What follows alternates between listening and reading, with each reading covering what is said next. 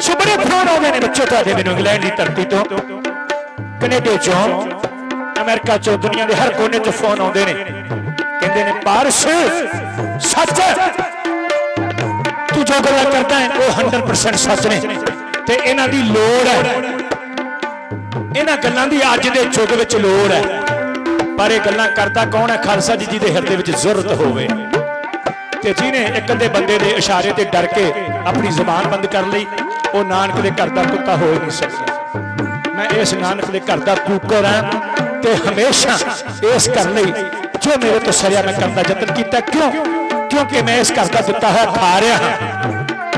ਇਸ ਘਰ ਦਾ ਦਿੱਤਾ ਹੋਇਆ ਖਾ ਰਿਹਾ ਤੇ ਜਦੋਂ ਕਿਤੇ ਜੇ ਮੈਂ ਇਸ ਘਰ ਦੀ ਗੱਲ ਨਾ ਕੀਤੀ, ਤੇ ਦੁਨੀਆ ਦੀ ਚਾਪਲੂਸੀ ਵਿੱਚ ਹੀ ਟਾਈਮ ਲਗਾ ਦਿੱਤਾ। ਤੇ ਗਿਆ ਨਾ ਮੈਂ ਨਾਨਕ ਦੇ ਕੋਲ, ਤੇ ਫਿਰ ਉੱਥੇ ਮੇਰੇ ਹਜ਼ੂਰ ਨੇ ਮੈਨੂੰ ਢਾਹ ਕੇ ਕੁੱਟਣਾ। ਆਖਣਾ, ਓਏ ਆ ਪਰੌਂਠੇ ਸਾਡੇ ਗੁਰੂ ਘਰ ਤੋਂ ਖਾਂਦਾ ਰਿਹਾ।